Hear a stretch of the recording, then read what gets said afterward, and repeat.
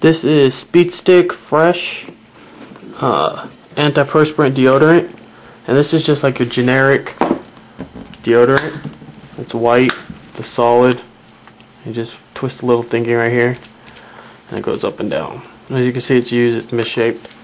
Uh, this is a. It smells fine. There's nothing really special about this. I don't remember how much this was. It's probably like two bucks. And this is good if you have uh, sweaty armpits, like most French women have. So, if you have uh, sweaty armpits and you need something to uh, combat that, you might want to pick up Speed Stick. It's like a, it's not generic, but it's nothing really uh, like special. Like those little uh, like gel balls they have in here. It's just a regular white deodorant stick. So uh, if you have hairy armpits, like again most French women have because they don't shave, you might want to pick this up. Thanks.